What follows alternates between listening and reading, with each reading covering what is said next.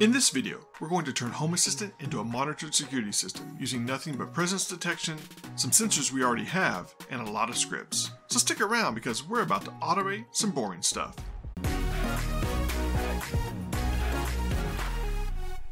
What's up everyone?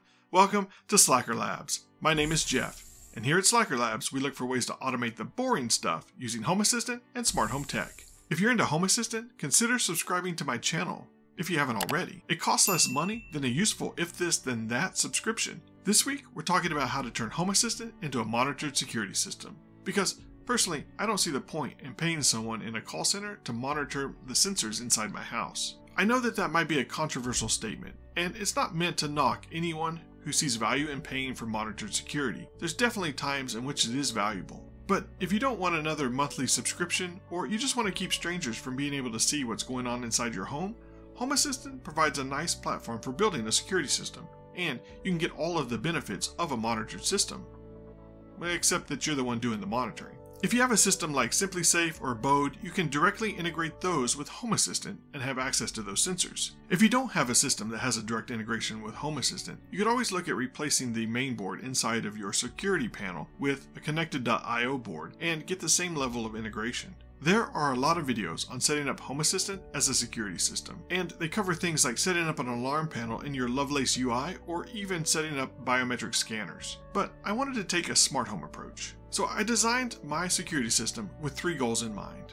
The first goal was if we're home, then the security system needed to notify everyone in the house of the security issue so that we could respond and get out of the house if needed. The second goal was if we weren't home, the security system needed to just let us know that there was a security issue so that we could respond if we needed to, and then just collect as much data and evidence as possible and archive it. And the third goal was to do all of this while eliminating as much direct interaction as possible. Because I'm building a smart home after all. Since I have this system built already, this will be a walkthrough of my configuration. So let's get to it. The idea was to design this system with as little direct interaction as possible. In other words, Build a security system with the intelligence of a smart home, which to me means no alarm panel that requires you to enter a code to arm or disarm the system.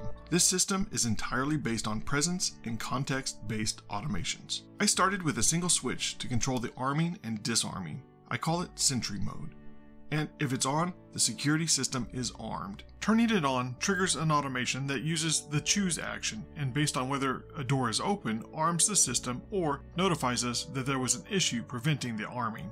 Arming the system happens in one of three ways. The first is when the family has left.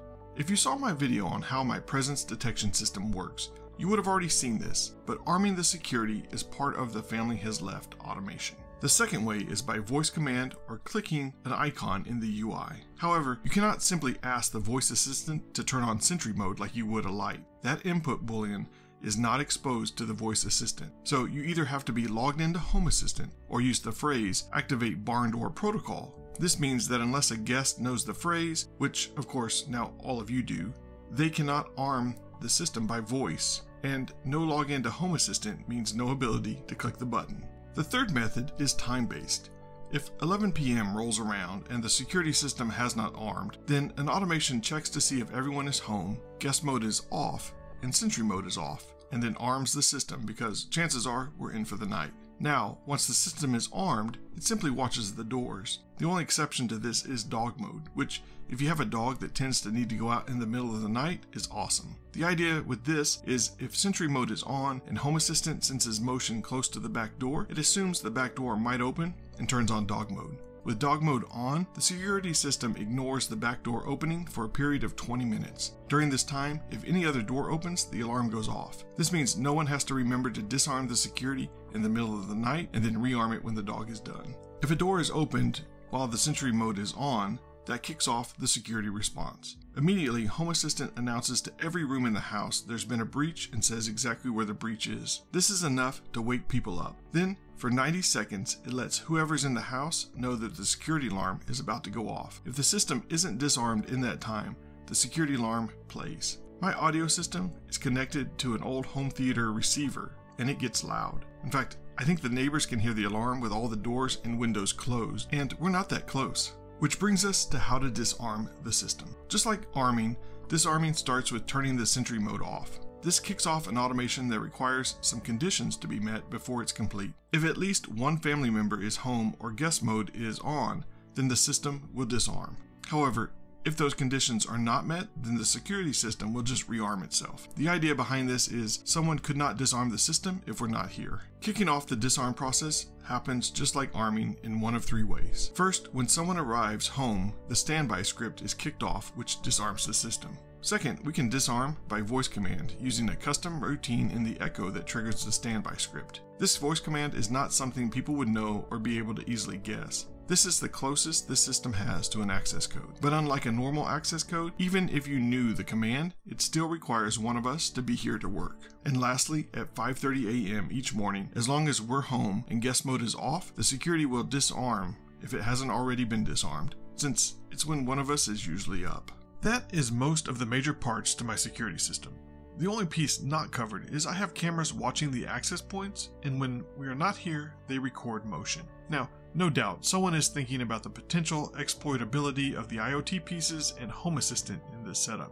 And while that is a concern, my position is it's far easier and requires less work and time to simply kick in the door or break a window than taking the time to hack a smart lock. This wasn't designed to be foolproof. It was designed to ensure we know when there was an issue and to collect evidence of what happened and I think it does that. If you want to know more details about this setup, I have a two part series over at slackerlabs.com where I go through this setup in detail. I'll leave a link to it in the description of this video. Also, I'll leave a link to my security.yaml configuration file, which lives in my packages folder, so you can take a closer look at what I have in there. We didn't cover some of the things like the monitoring I do around the garage or notifications around doors opening. So if you want to know more about that, you can find those automations and scripts in that file. And that's the story of how I used Home Assistant to build a security system. So press that like button if you found this useful.